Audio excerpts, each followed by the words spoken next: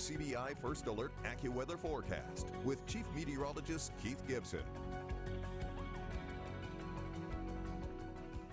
We are going into the weekend on a very warm note. Our Alpha Insurance Camera Network picked up on some of those friendly cumulus clouds across our region today in Louisville, Vernon, Tupelo, and Columbus. Temperatures topped out in the mid 90s. The heat index is warm as 105 plus in some instances and just a few isolated showers trying to form briefly over the last hour, but those really are falling apart. If you saw rain today, consider yourself one of the few that actually did in our area. There's been a big batch of storms in Tennessee, Arkansas, Missouri, flash flood warnings up there, lots of lightning.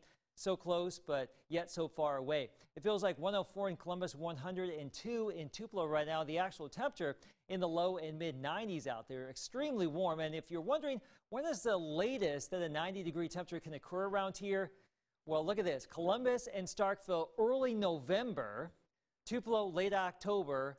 So we could still have many more months of this. Let's just hope not. We're, at least I am getting tired of this heat, but it's July, you know, we're used to this by now, but I just want to show you where the air is going to be below 70 degrees over the next seven days. Nowhere near here.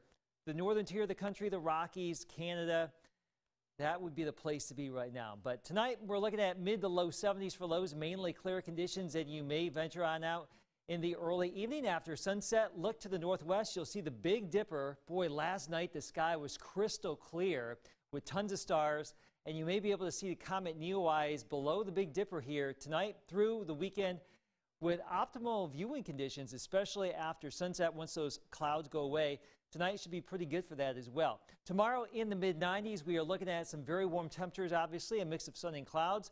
Temperatures as far as the heat index, 100 to 105 plus. And guess what? Same ballpark for our Sunday, too. Futurecast is suggesting that we'll have a few clouds in the region tomorrow, maybe a few isolated showers or thunder showers here for your Sunday too, more or less the same picture. Rain chances just 20% or less this weekend. So overall pretty decent here, just hot and humid. 96 tomorrow, Sunday 97 Monday, lows in the mid 70s. We're going to bump up those rain chances a little bit starting Tuesday at about 40%. That doesn't mean you're guaranteed rain, but there's a better opportunity for some more scattered rain around here with that. I think it could be a little bit